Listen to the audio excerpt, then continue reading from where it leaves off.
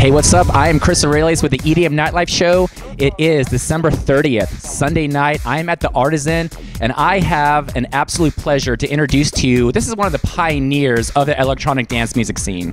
Producer, DJ, turntablist. I mean, this guy's paved the way for all of us to enjoy the music that we do today. Talking about none other than DJ Dan. How are you doing tonight, man? Good, man. How are you? Very good to see you. I'm glad that you came into town. You know, I'm so happy to interview you after all these years of being a fan of yours, two decades listening to your music. I kind of started out when you were back in the day playing breakbeat with the Funky Tekno Tribe, and you had a lot of mixtapes, you know, flooding out to people. People were enjoying your music. I have to ask you, how did you come about to, you know, get your inspiration to make this great music? For, for me, it's always been an escape because I had eight brothers and sisters. So the way that my parents were able to sort of keep me occupied was to buy me records. So that's how I got into it. I was always just buying, you know, and I was always interested in funk records and anything off the wall. Like, you know, I was really into new wave. Um, you know, anything sort of edgy, I, I was always drawn to. And, you know, I was very lucky to have parents that, you know, bought me a new turntable every year and, and always bought me records. So I just kind of became a natural thing that I became a DJ. I didn't plan on becoming a DJ, but uh, I went to college for. But you know, it's I, I think it's in my blood. It's it's what I you know wake up thinking about and live for. And uh, did you actually have people that you uh, went to see, you know, perform that you really got into, like, you know what, I can do this as well, and just kind of use my own style to create, you know, a different kind of uh, genre for people to enjoy? You know, there was a DJ in Seattle named Dr. Rob, and this guy would just mix everything up. Um, you know, watching him was really inspiring. I, I didn't even realize that, you know, you could mix two records together. So I'd go watch him. And then Donald Glaude, he used to play at this teen club um, when I was in high school. And I'd go watch him and just think, you know, wow, this is insane. I mean, some of the stuff he would mix together, you wouldn't think of mixing it together, you know, and it's, and, and to take the whole night of playing like, you know, five to eight hours and programming an entire night of music from new wave to house to industrial and to do it well and to do it in somewhat in key um, back then without the tools that we have you know for me it was just a fascination. And i really enjoy mixing different styles together. I think it takes a certain skill to do it and it, it it's a challenge that i enjoy I was going to ask you, when do you think um, you transition from playing all these great funky breaks into more of the four on the floor house music that people are really, you know, enjoying more? I should say, like, let's say in Vegas today. Well, that's an, that's an interesting question because uh, it's it's an involved question. Um, I, I was doing a lot of the I was playing a lot of the breaks dur- during a time when I thought house music had become really stale and boring. Um, that was about 1993, and I felt like something needed to make it more edgy.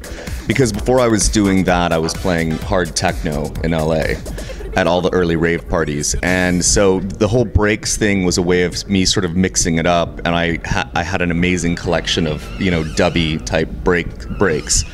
Um, but ma- what made me stop playing that sound and stop scratching was when I started traveling and, no- noticed that a lot of the records that I had been collecting, everybody was playing. And, you know, for me, I don't want to sound like anybody else. And it, I, it, that's wonderful. I, I, you know, love the fact that people find the records, but it's like when I heard a lot of people copying the sound of, of the DJs in San Francisco, what they were doing.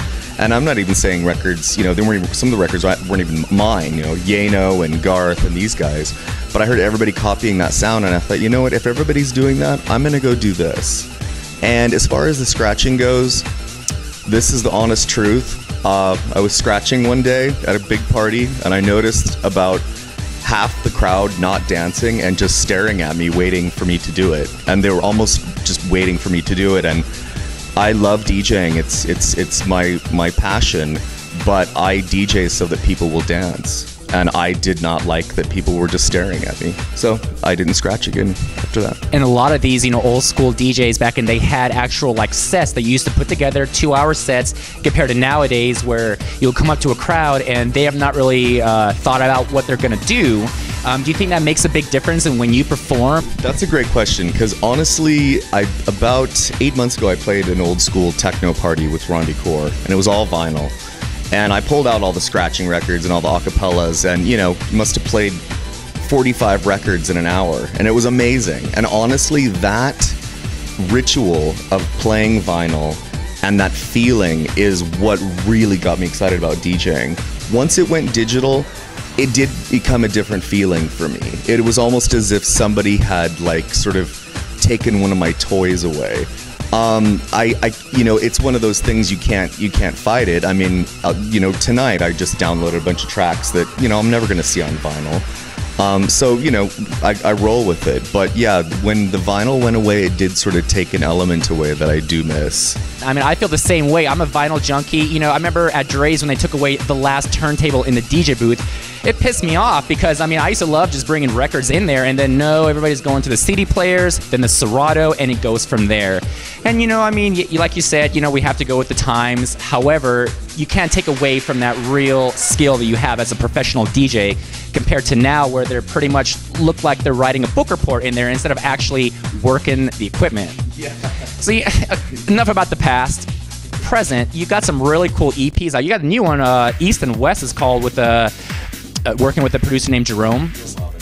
And uh, you got a couple cool funky disco tracks on there. I, I want to know when it comes to making this EP, did you use outboard gear, inboard gear? Do you have a synthesizer you like to use? I mean, what did you do to make this track, and how long did it take you to come out with this? The track took about. We, there was two tracks. They, they basically took about two days, really. Um, what and then the cool thing about working with people now, like Jerome Robbins, he's from Toronto, and he basically you know sent me over a, a music loop, and then I put beats over it, and then he, we kept going back and forth, and then I found you know a vocal that I an old hip hop vocal from my vinyl, you know, and put it over the top and did it all in Ableton, you know, and pretty much used all samples. I mean, the only outboard piece of gear I use is a Little Phatty, and you know, use that for bass lines. But other than that, I mean, it's mostly you know sampling and sample packs. So I mean, I wish there was a little bit more of a mystery to it, but. I, I am obsessed with you know putting samples together and finding the right things that go together and I'm, I'm really enjoying working with a lot of different producers right now because I kind of learn you know how they approach it as well. I have a lot of your old school records, like Loose Caboose. I had this red vinyl of it. Do you ever um, go back and you know try to take samples out of stuff that you used to do and incorporate it into new tracks? Yes, in fact, the Loose Caboose is a tough one because there, you know that laugh in that track. I must have used that in like five different tracks, and I still think about using it. It's it's hard not to, but it's like your samples are your crayons, you know, and you're gonna you're gonna you paint this picture. You you know, it's like you, your samples that you personally connect to. That's your way of telling your story through a track. Um, I just did a new track with Funk Investigation. Um, and it's a little bit more techno. Um, I had a lot of funky house come out this year, but some of the new stuff that's about to come out is a little bit more techno, and it's just interesting because, you know, I'm sort of going through my early rave records and going, wow, that was a groove. I'm gonna sample that, and I'm gonna work with this techno guy who's producing this sound, and you know, it's it's been cool. I mean, that's the way it is. The story continues to evolve like that. You know, I like to play a lot of your tracks. For example, uh, you made a cool remix of New Order's "Guilt is a Useless Emotion." I love this song, and I play it all the time. Still today, people go off when they hear this track. Do you uh, get a feeling? You know, do you go anywhere? Then you hear your song playing, you're like, you know what? It just you know, kind of brings you brings memories from you know what it was going on at that time. Yeah, it's interesting. I'll I'll be I'll, I'll be in a club or something and I'll hear a mix and if when you first hear a track that you've done, you don't even you think you're like, wait a minute, I recognize this. Like everything, it's you know you recognize it, but then you're like, whoa, that's my track, you know, and I didn't expect that to come, and it's a nice feeling, and it does bring back memories. I mean, every song almost comes with photographs in my head, you know, um, and especially New Order. I love New Order. You know, to do remix for New Order was like one of the biggest honors for me when was it that you actually felt that there's a change like you know what i've made it and and now you know I, I feel like you know this is the pinnacle of my you know musician you know career that i, I have established myself and people know me as you know a pioneer it's it's it's a it's a it's a weird feeling. It's it's a strange it's a strange thing to even talk about because it's. I remember the first time I actually looked out at the crowd and realized, wow, I'm you know a professional DJ, and this is pretty. This is what I'm gonna do. You know, the first five years of my career, I thought, you know, how long am I gonna mess with this stuff? You know, I got to get serious at some point. Um, but I remember thinking, wow, this is what I'm going to do. And it honestly was kind of scary. It, it, it kind of put this feeling of responsibility in me and and and, and but an important one, a good one. You know, I, I just want to make sure that when I play, I make people happy, and I'm I'm sort of doing what I'm here to do. I do feel music is my form of of making people happy and you know i've always kind of known that's what i'm supposed to do here and you know i do it with cooking as well so i just feel the i want to make sure people are happy when i dj you know that's pretty much it what do you like to do for fun you know taking your mind off of all this you know craziness well it's it's uh i have a really great house in la and i'm, I'm really proud of it I've, I've worked on it for 10 years and it's kind of made it very bali-esque and a I have a lot of friends that live in the neighborhood, and the thing I love doing the most is just getting all my friends together and cooking, and everybody brings different wines, and you know, just having get-togethers at my house, cook. Different people will DJ. You know, it always involves music. You know, that's one constant thing. But cooking, I'd say, is like my my my release. I love it. All these years that you've been DJing, making a mark in this scene, you've always been wearing this hat a lucky hat that you've always been, you know, it's kind of like you that you're DJing. Is how did that all come to be? You know, it's funny because I in, in the rave days we we used to wear these like big overalls, you know, and the hat and this whole thing, and you know, it was funny. I I remember a couple times I would go out without my hat and people didn't recognize me, and it just became one of those things. It's like I wasn't complete unless I had the hat on.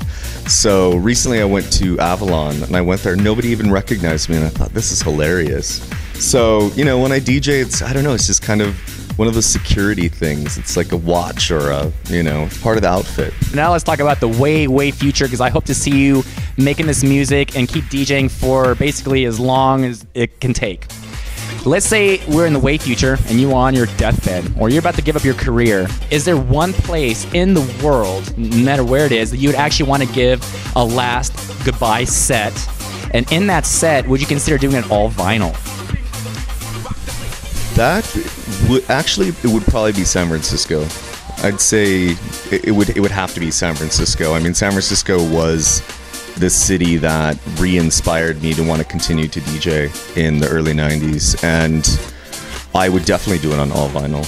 Yeah, that'd be amazing. But yeah, absolutely, San Francisco. Where can the whole EDM scene find you? Give us some of your websites. Um, you can go to uh, my website, djdan.com, or uh, it, Facebook, SoundCloud. It's all backslash DJ Dan Music. Once again, everybody in the electronic dance music scene, I want you to know this guy's an absolute pioneer of this scene. If it wasn't for him, it, we would not have the music that we're listening to today. This music has gone mainstream, and now everybody is doing it. Everybody's mom is doing it. It's is, it's easy enough to download an app and start making beats off your phone. Do you think that it's um, it's a whole image thing now, or do you think that it really comes to true talent? Is that going to succeed? Right now, because of because of the hype on it and and how new or fresh it is blowing up in this country, yeah, it is a little bit image driven. Um, but again, like anything else, once it has time to mature and settle in, you know, people know the difference between quality music and just pure image.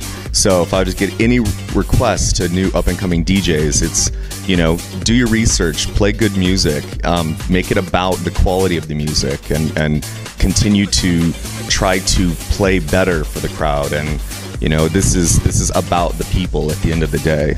Uh, well, I've definitely come in full cycle here with DJ Dan, about to be throwing down a sick ass set at the Artisan. Check out his website. I'm Chris Aurelius with the EDM Nightlife Show. See you again soon. Keep it locked.